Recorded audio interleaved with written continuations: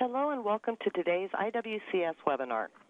Now I'm pleased to turn the webinar over to Ed Fenton, your IWCS moderator. Ed, please go ahead. Uh, thank you, Connie. Our IWCS webinar series event is hosted by the International Cable and Connectivity Symposium. I am Ed Fenton, a cable industry advisor working with the IWCS team. As Connie said, if you have questions, please use the Q&A box on the bottom right of your screen to post a question anonymously, including during the presentation if you wish. If you wish to contact the presenter or IWCS after the presentation, you will be given the contact points at the end of the webinar. Please note that IWCS does not distribute the presentation slides from either our conference sessions or these webinars. However, please feel free to contact the presenter directly and they will respond individually to you. Today, we welcome Ken Cornelison, industry consultant for Hitachi Cable America in New Hampshire, United States, who will be presenting his paper on CW and EFT noise coupling to category cables and the effect on one gigabit per second Ethernet traffic. Ken Cornelison is an industry consultant with experience in the design, development, and testing of a wide range of copper and fiber optic cables and processes. He was graduated from Rose-Hulman Institute of Technology with a BSEE in electrical engineering and from Ball State University with an MBA. He has also worked with cable high frequency testing and monitoring equipment and developed new equipment useful for twisted pair cable process control. His most recent experience is in the design and development of new category cables with enhanced performance. Ken, we welcome you to present at today's IWCS webinar series event. Again, thank you very much. And uh, host, uh, you can hear me? Yes, yes, absolutely. Uh, for the audience, just making sure the technical difficulties are squared away. Uh, again, thank you all for joining in this uh, presentation today, and appreciate you uh, appreciate your participation. Uh, today is all about uh, doing some EFT and CW testing on gigabit cable. And uh, one of the concerns that uh, is being addressed in this paper is trying to maintain consistent data through the uh, adverse electrical environments. And although there's 10 gigabit alien crosstalk requirements and all uh, several factors, you know, concern in 10 gigabit system or, or even higher, uh, there is still some um, uh, investigations that seem to make sense to look at gigabit Ethernet traffic, even though it's been around for quite a number of years. The uh, MICE environments, which is a measure or a, or, a, or a standard, as it were, for describing the electrical and mechanical environments, uh, for E3 has 10 to 10 uh, dB or more of additional outside noise that could be coupled to the cable which puts an additional strain on the pairs and the electronics attached to the cable to decipher the, uh, the signaling. Of course, coupling of outside noise is affected by proximity to the cable and, of course, the length. And one of the things we're trying to explore is the effect of the length and the proximity as well, because sometimes there's noise that come across the entire channel, and sometimes there's locally induced noise. And of course, UTP cables by nature do not have the advantage of screening attenuation, and so improved levels of pair balance are being proposed and implemented in various uh, various standards in TIA and otherwise. Uh, so we wanted to see how the uh, pair balance uh, effect actually behaved in different type of scenarios compared to the typical laboratory environment. So we also looked into spectral density of the and the temporal factors in the interfering signal as well, because we believe that um, different types of signals would have different uh, amounts of impact on the Ethernet traffic. So again, we have growing importance of electrical interference. We have more critical applications. Uh, we're also going to talk about the summary of cable constructions that are being tested, the various constructions and how they were put together, and, and the constructions overall. We're going to talk about the uh, EMC testing results and uh, some of the differences and similarities we saw to conventional uh, testing processes. We're going to talk about both the RFI and EFT and also about the differential and common mode voltages we measure on the cable and how they differ. We're also going to talk about the effects on Ethernet throughput with these various signals. And we're going to conclude, of course, with the observations and conclusions. So signal integrity with induced electrical noise. You know, these uh, Cat5 and 6 uh, gigabit type uh, applications are continuing to expand into different environments. And there's just more opportunities in, for cables to be installed near or within electrically adverse environments. At the same time, many of these new applications, particularly industrial and some others, uh, they require a um, re reasonably deterministic data flow and really rely on essentially real-time communication. So disruptions in the data channel and data link, even though temporary, temporary, could really cause some difficulty in the channel operation for the application. So again, these short responses, retries, short link loss, etc., can have a significant impact on the operation of the channel. And gigabit is also expected to remain a significant portion of the existing and new Ethernet applications, even if the data rates of 2.5 and 5 and 10 continue to grow market share. So the constructions that were tested was one was a category 5E, a very conventional four-pair UTP construction. The other was a category 6, again, conventional four-pair UTP. We also tested a Category 6A cable, uh, again rated to uh, 10 gigabit, but tested in this gigabit application as well. We also did two barrier designs, which is a conventional core surrounded by a barrier layer. Uh, we call this uh, first cable design A with a barrier layer and cable design B with a different barrier layer. And one of the purposes of this investigation and testing was to determine any differences, if any, between these two cable designs. The test itself was uh, conducted with uh, RF immunity, and this is a radiated immunity type testing based on IEC standards.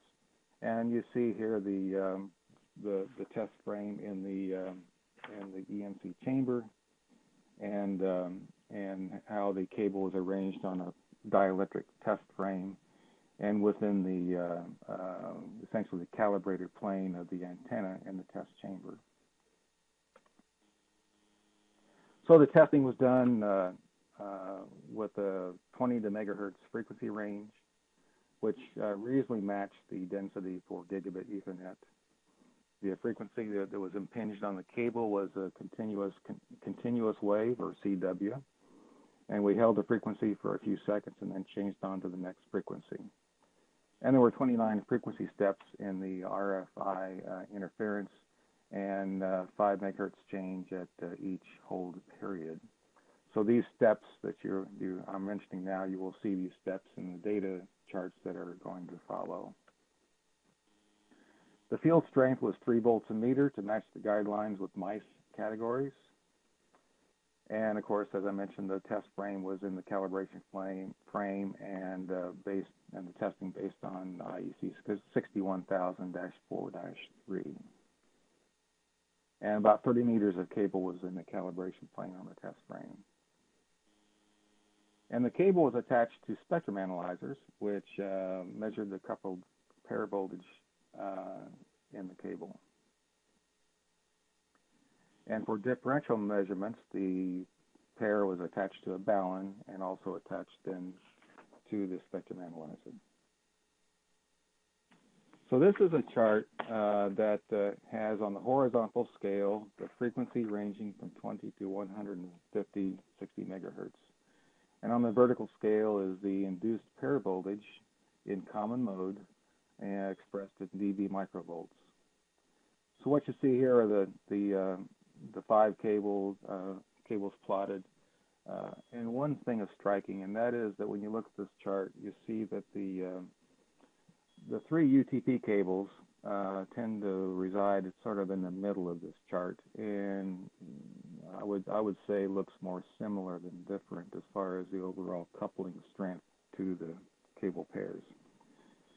what was interesting is that the two barrier designs had a distinctly different amount of coupling to the uh, cable pairs. So cable barrier A actually has, seemed to have a bit more coupling of common mode energy to the pairs, where barrier design B had much less coupling. Was different as much as 40 dB.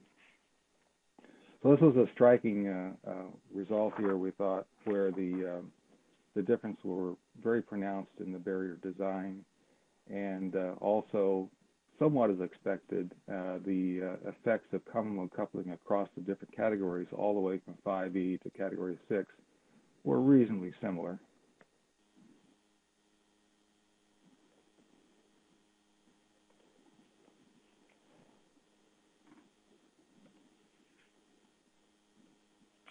So then uh, we've also measured the uh, differential voltage on this cable, again using a balun on the pair rather than measuring the pair, the conductor voltages directly.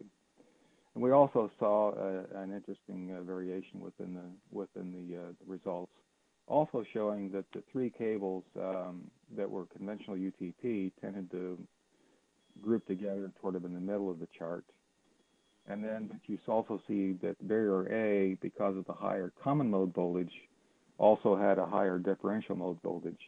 And uh, the barrier um, B uh, exhibited a much lower differential vo mode voltage, which would be expected based upon the lower common mode voltage coupling.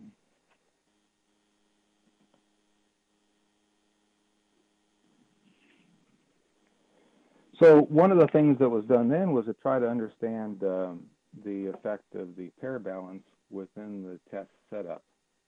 Uh, and so what we did is we measured the um, the uh, the two the two voltages and actually did math to understand the uh, the, the, the balance, which is the, the, the, subtracting the differential and common mode voltages to come up with what would call we call apparent balance in this test.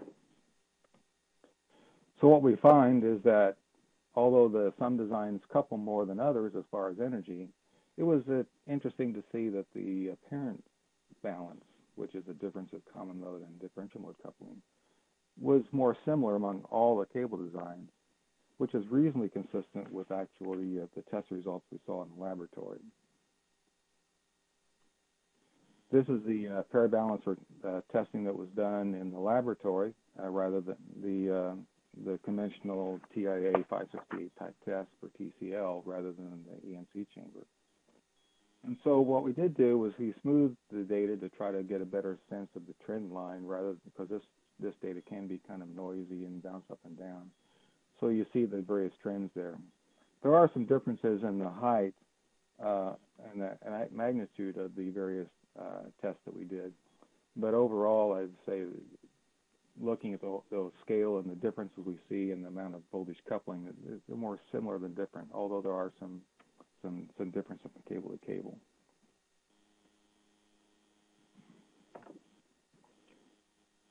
Moving on to EFT testing, um, this was an interesting test that uh, we did because of several reasons. Um,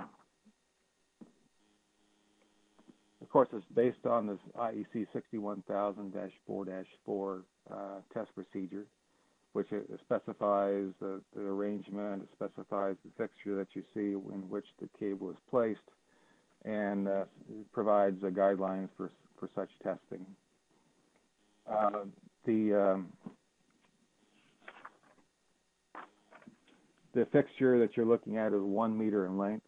So what's unusual, not unusual, what's different about this test compared to the EMC, to the RFI test is that the noise is both coupled in along a very short distance and also coupled uh, very close to the cable as well. So the proximity of the noise to the uh, uh, to the cable is is very uh, is very close.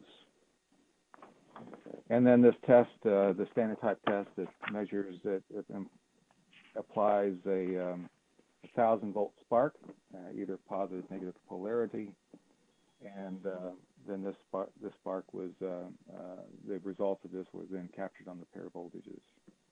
And of course, then the one meter cable was was was zapped, and as it were, and we measured the pair voltages that was induced. And this chart we found interesting. So this is a voltage a chart of the common mode voltage for UTP type cables. Again, the horizontal axis is frequency ranging from 0 to 150 megahertz. The vertical scale is the amount of the induced voltage, common mode voltage on the pairs. What we found was that essentially the coupling to all the cables was the same. So there could be a barrier, it could be a category 6A, it could be a, could be a category 5E with much, much different difference in lay lengths. And yet in this particular test, we found the coupling was essentially the same across all the cable designs, which is interesting. And uh, we feel that you know, some of it may be induced, induced or caused by things like near field effects, which have a different coupling uh, uh, characteristics compared to more distant radio sources.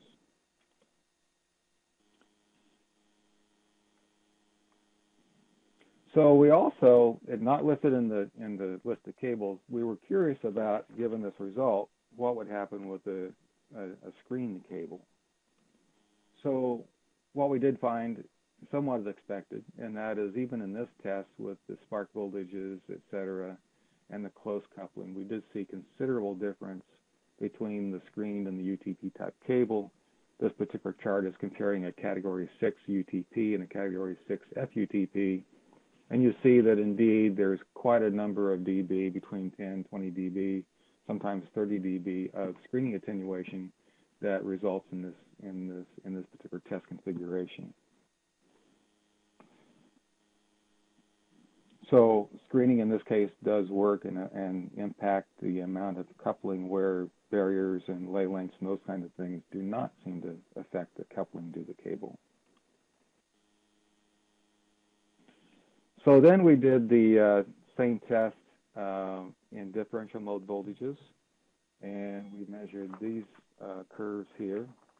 And this is a differential mode voltage. Again, the common mode, as you saw before, was very, very similar.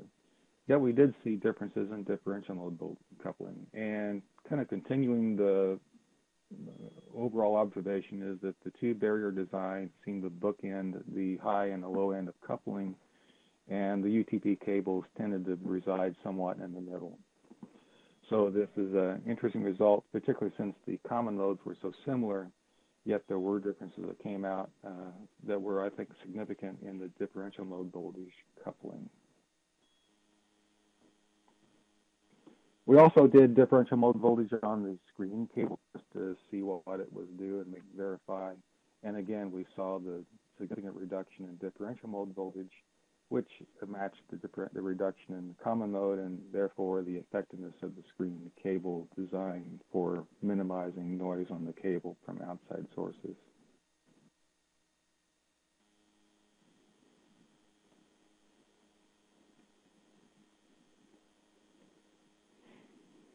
So with screen cables, um, both common mode differential modes are significantly reduced. And with UTP cables, um, it seems that improved pair balance can indeed reduce differential mode voltage. But interesting enough, it really has little or no effect on the amount of common mode voltage induced. And this, I think, has some various implications I'll discuss now and a little bit later as well.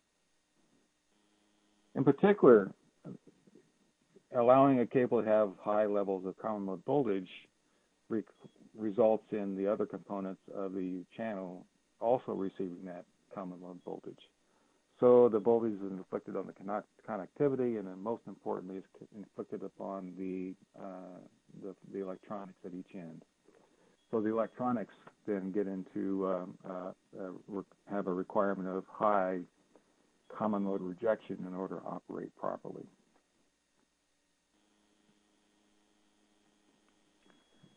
And then this is a slide that is, uh, how you say, commonly understood, but I thought it was worthwhile at least bringing this slide up, and that is that um,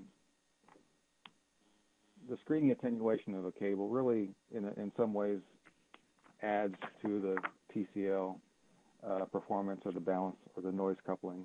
And of course, it's commonly understood that the coupling attenuation is a sum of screening and uh, balance attenuation in the cable.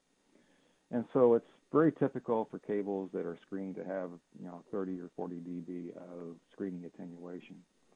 So in order to meet the same expectations in a UTP compared to screen cable, you're going to need, you know, a good 20, 30 dB improvement in balance. And that's not an easy thing to accomplish in a UTP type cable. And so the, um, the screen cable, the the overall balance or total balance, which could be equated with coupling attenuation, is, is a very strong performer compared to UTP uh, cables in an adverse electrical environment. We also tried to put this, uh, some of this in a more uh, organized fashion, as it were, where, or simplified fashion, I should say, where we try to understand is when we looked at the TCL re results in the, in the TIA standard activity testing, and we looked at the results in the EMC chamber, we were trying to understand was a cable better or worse than might be expected based upon the balance requirements or balance results, I should say. So what we see here is that uh, when we stand back and look at the various charts, try to compensate for laboratory balance and also observed balance, the apparent balance in the in the test. We saw that uh, four of the five cables um, tended to um, group reasonably well together. There's four or five dB difference, um, but that seems to be reasonable with, for this particular test and the kind of variation we see. What did have our um, come out is that the barrier B did seem to actually improve the overall performance of the cable in the aspect of noise immunity a bit more than might be expected by the differences in, in uh, pair balance. So there seems to be a, indeed an effect of different designs of barriers on cables that make some uh, perform differently in different environments. So to put, put this together, um, what we did was we put together the um, the, the testing situation, hooked a, a couple of computers up to the channel, and measured data throughput. So we had an 80 meter length of cable, and we had plugs at each end. There were no, uh, there was not a four connector channel. It was just uh, plugs at each end of the 80 meter cable, plugged into the uh, the network cards. We had a PC at each end, and also what we thought was important was a bidirectional flow of data. So we generated the traffic. We did the RFI testing, which was continuous wave and and based on past data, not too surprising. But what we found, which is important to note, we did not really see a lot of noticeable effect on the throughput, and meaning that when we subjected the cable to continuous wave interference, there was essentially no impact, if not no impact, on data data rate data rate throughput. However, when we did the EFT testing, which is both a time dependent and a broad spectrum interference, we did see visible throughput effects.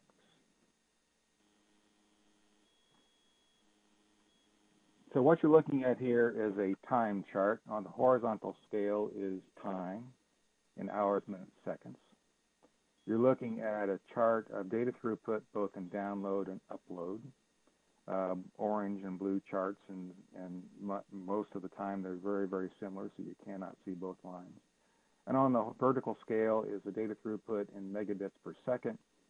And as you can see, the data throughput goes from about 1,000 down to a lower number. So this is a typical result we, we saw in the EFT testing. So what you see here actually is in this chart, which is I think very significant to note, and that is that the test setup consisted of the test setup was um, um, four four pulses of energy, and we tested at a thousand volt sparks. So you see four dips in the in the data, and then we tested 1250. We saw the dips, and we saw 1500, and saw the dips again. So what you're seeing is the 12 spark events separated by the time when there was no sparks at all where the data rate covered.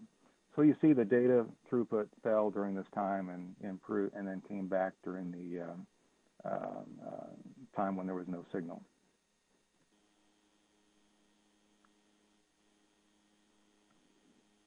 Now, what was interesting and I think very important as well for this paper is that we changed the system where we used identical net network cards at each end.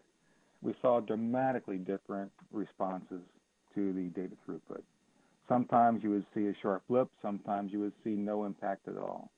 So just by changing the NIC cards from different NIC cards on each end to the same NIC card at each end, the results were dramatically different.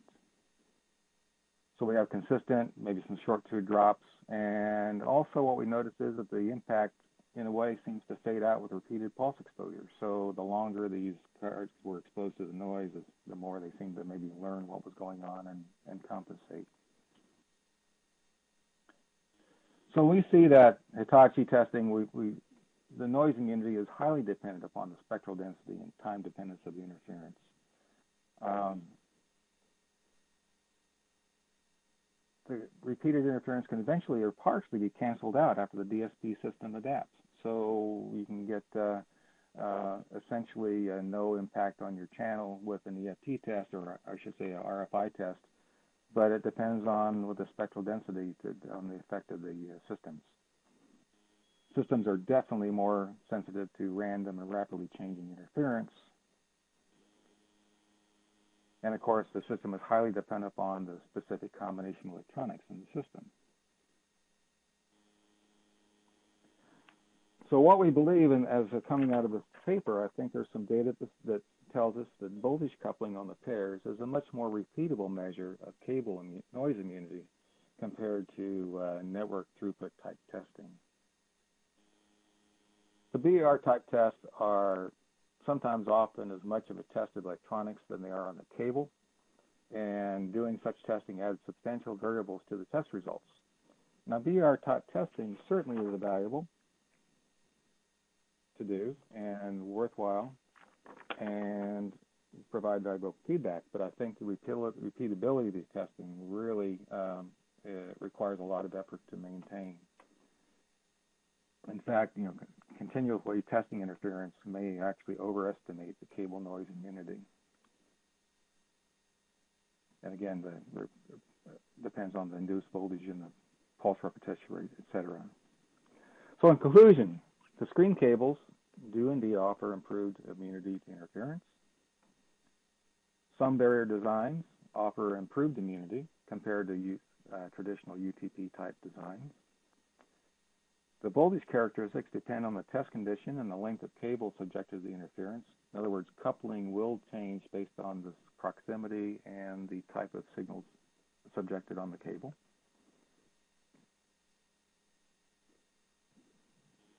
And common mode coupling is essentially unaffected by the design type of UTP cables and sometimes even with the barrier layer within the cable.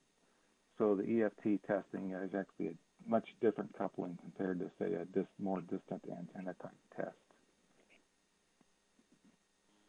And the EFT cable differential differential mode coupling, although the common mode is very similar, the differential mode does vary with the cable design. And reduction differential mode voltage on improved pair balance really has no effect on the coupled mode attenuation voltage.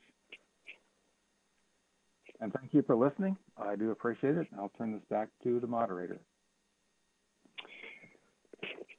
Thank you, Ken. Uh, at this time, we will take as many questions from the attendees as time permits. Uh, starting with this first question. Um, will higher category cable ratings, such as Cat 7 or Cat 8, require screening or shielding cable designs in the future to maintain signal integrity? Uh, the general answer is yes. Um, those uh, higher categories, you have a very high requirement for crosstalk between pairs and uh, also between cables. And so generally speaking, the Cat 7 type Cat 8 cables are routinely uh, shielded pairs within an overall jacket. Okay, thank you. Next, um, with regard to the better performing cables, was the barrier a foil, shield, or some other crossweb or separator design? Uh, the crossweb design, the crosswebs were contained in the uh, category 6A type cable, even I think the Cat 6 as well, and that was for internal crosstalk performance. Uh, the barrier designs were were a, a, a Hitachi design. There were two designs out there. I can't really go into the details right now, but there were two different types of designs made by Hitachi, uh, specifically and differently uh, differently designed to understand the difference in performance. Okay, next. Um, were the barriers applied to individual pairs or as an overall barrier over the four pair core, uh, such as under the cable jacket? Yes, the, the barrier, the, the cables with barriers were, you might say, a more conventional UTP type core with or without a, a dielectric cross web. And then there was a barrier applied over the core itself, which provided the, um, the intended uh, isolation of the cable core from the outside environment.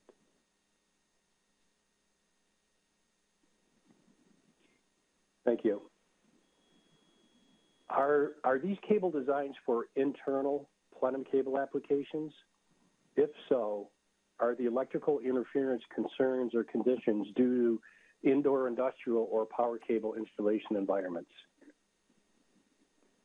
These cables uh, could be applied. Uh, they're typically indoor type cables. They're structured cabling type designs. Uh, but that really is the concern we have in this testing is that um, um, a lot of interference on the cables can happen by passing across a uh, LED or a fixture, uh, running by an electrical motor, particularly start-stop switches in an industrial environment can generate a lot of short-term, higher high energy pulses. Um, so the the, uh, the the cable cables and their typical applications we would be subjected to a wide range of interference. And and a particular concern, or the investigation, I should say, was just how do these react to uh, specific, potentially reasonably strong but very local um, uh, interference sources, which was somewhat mimicked and, and represented by the electrical transient testing, the EFT.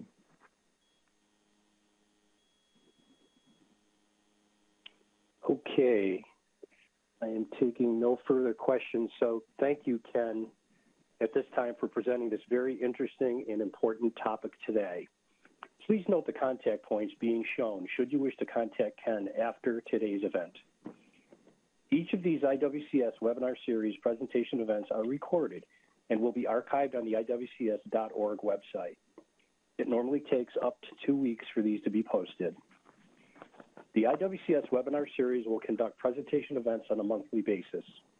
Webinar events will take place on the third Friday of each month at 10:30 a.m. Eastern USA time. Our next scheduled webinar event will be on Friday, July 19th at 10:30 a.m. Eastern USA time. Each of you will be receiving an announcement for the event a few weeks prior. Please feel free to share our announcements with your colleagues so that they can join in and register as well. For over 67 years, the IWCS International Cable and Connectivity Symposium has been the recognized leader showcasing new technologies in cable and connectivity products, processes, and applications. Our next annual international conference will take place on Sunday, September 29th through Wednesday, October 2nd, 2019, at the Charlotte Convention Center in Charlotte, North Carolina, USA. In addition, the third annual UL and IWCS China Cable and Connectivity Symposium will take place on Tuesday, March 17th through Thursday, March 19th, 2020 at the Marriott Hotel City Center in Shanghai, China. Please visit our website at iwcs.org for more event details. In just a moment, you will see a brief survey so that you can provide us your feedback and comments on today's event so that we can further improve this webinar series for you. Thank you for participating, and this concludes today's event.